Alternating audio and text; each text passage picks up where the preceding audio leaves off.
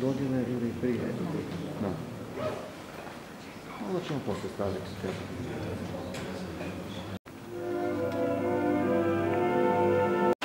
Kroz četiri desetljeća stvarali ste i izvodili pjesme koje su postale dio naših osobnih ljubavi i boli, proslava i tugovanja.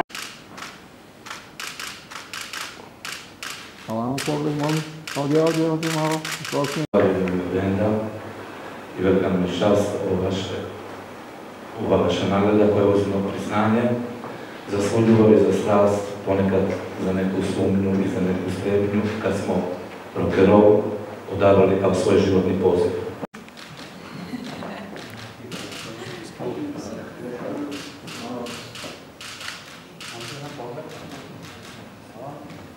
Hvala lijepa.